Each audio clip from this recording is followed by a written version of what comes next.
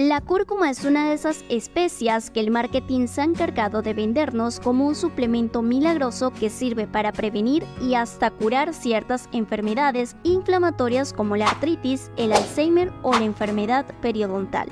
Sin embargo, ¿qué tan ciertas son estas afirmaciones? ¿Es la cúrcuma tan milagrosa como nos la presentan? Pues la realidad es que esta maravillosa especia puede aportarnos muchos beneficios que mejorarán considerablemente nuestra calidad de vida.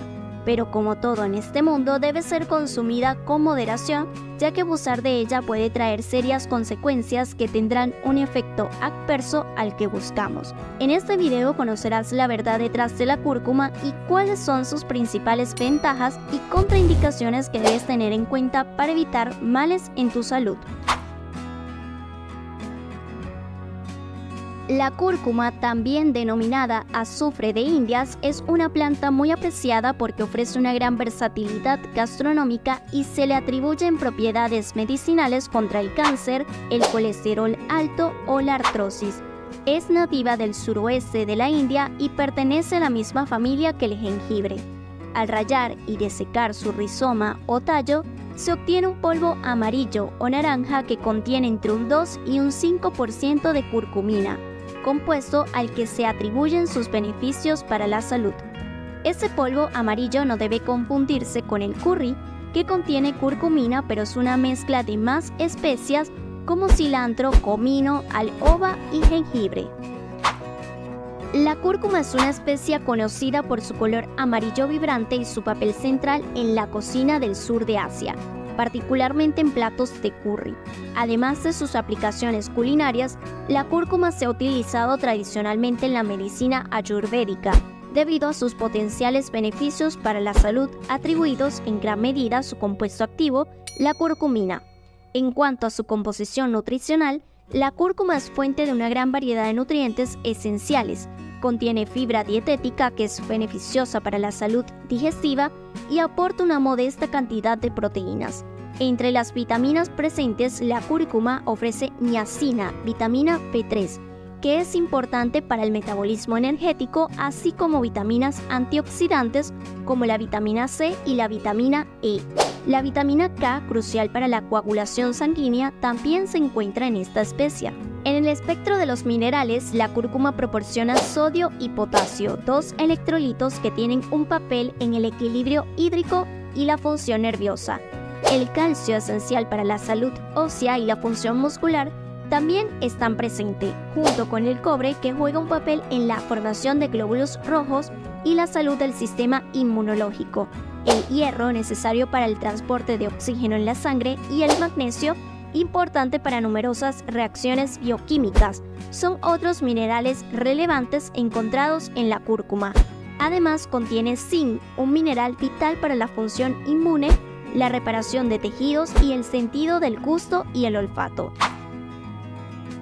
Según especialistas, la curcumina reduce la producción de mediadores de la inflamación y los radicales libres, lo que hace que popularmente se le atribuyan propiedades antioxidantes y antiinflamatorias que tendrían efectos beneficiosos en el tratamiento de enfermedades como colesterol alto, artrosis, enfermedades de la piel, úlceras gástricas, diabetes o incluso cáncer.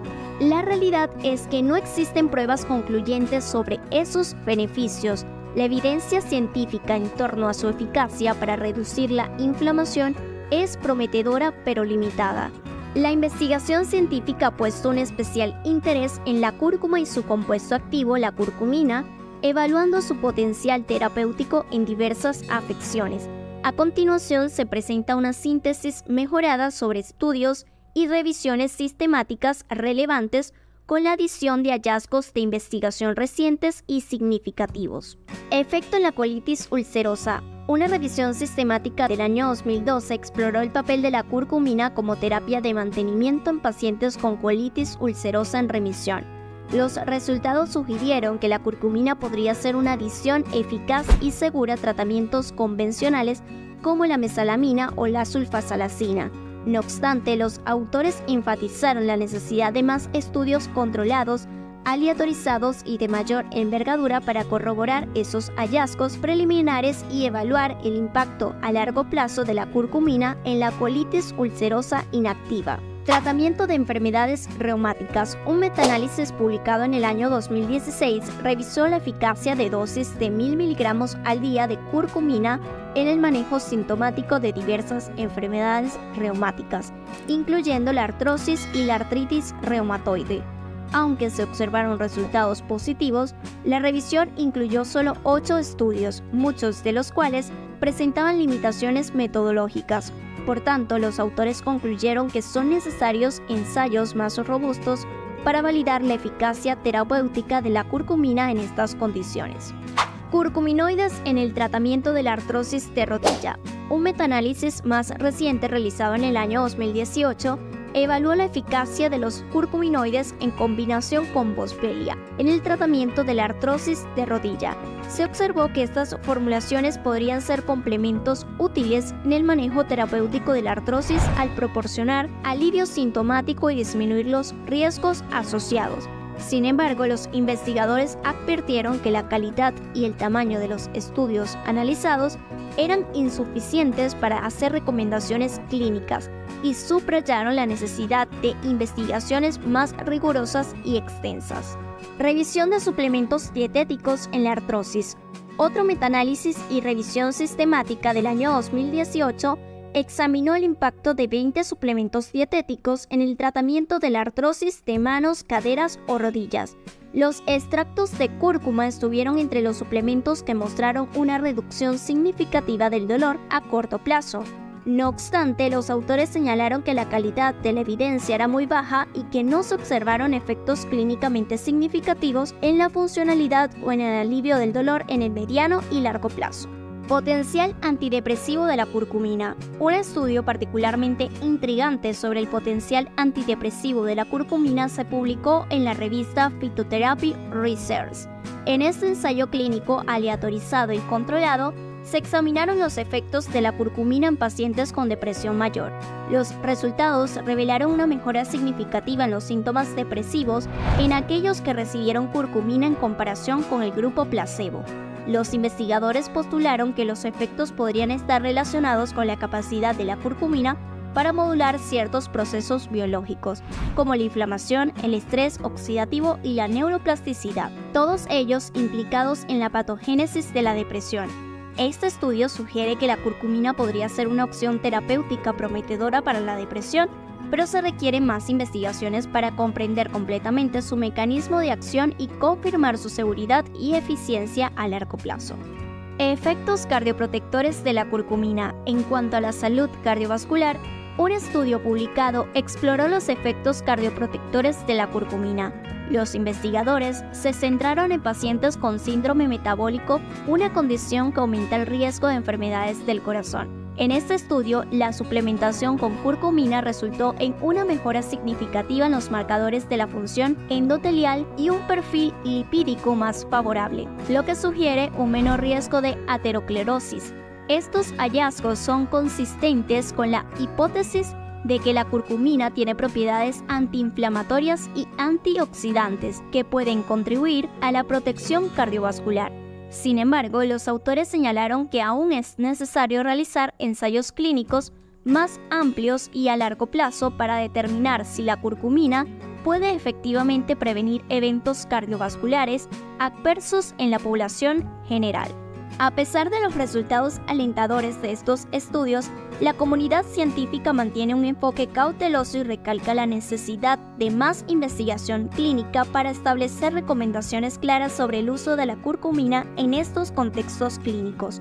La variabilidad en la calidad de los estudios, las diferencias en las dosis y formulaciones de curcumina utilizadas y la heterogeneidad en los diseños de investigación subrayan la importancia de interpretar estos resultados con un entendimiento crítico de sus limitaciones.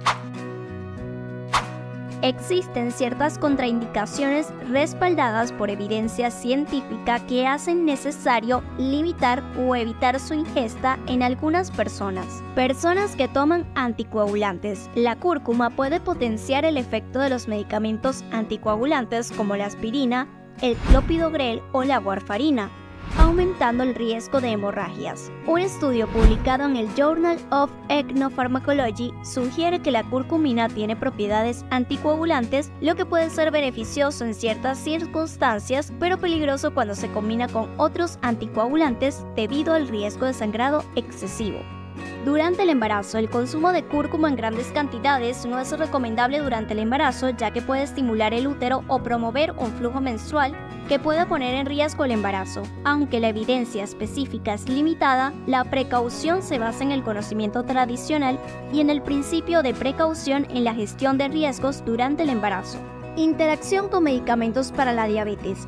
La cúrcuma puede aumentar la potencia de los medicamentos antidiabéticos y la insulina, lo que podría llevar a una hipoglucemia. Un estudio del Journal of Endocrinology reportó que la curcumina puede mejorar la sensibilidad a la insulina y reducir los niveles de glucosa en sangre, lo cual es beneficioso, pero también puede causar una interacción peligrosa si se toma junto con medicamentos para la diabetes. Interferencia con fármacos para reducir la presión arterial. La cúrcuma puede potenciar el efecto de los medicamentos para la hipertensión, aumentando el riesgo de bajar la presión arterial a niveles peligrosamente bajos. Aunque la investigación sobre esta interacción es limitada, el principio de precaución debe prevalecer debido a las potenciales consecuencias graves de una hipotensión severa. Inhibición de la eficacia de antiácidos. La cúrcuma puede interferir con la acción de los antiácidos aumentando la producción de ácido estomacal y exacerbando problemas como la indigestión o la úlcera Un estudio en el Journal of Molecular Medicine indica que la curcumina puede aumentar la secreción gástrica, lo que podría contrarrestar los efectos de los medicamentos antiácidos. Ya que conoces los principales riesgos y verdaderos beneficios sobre el uso de esta especia, aquí te presentamos 5 remedios naturales a base de cúrcuma que puedes preparar fácilmente en casa. Té de cúrcuma. Calienta una taza de agua y añade una cucharadita de cúrcuma en polvo, una pizca de pimienta negra para aumentar la absorción de la curcumina y un poco de miel para endulzar.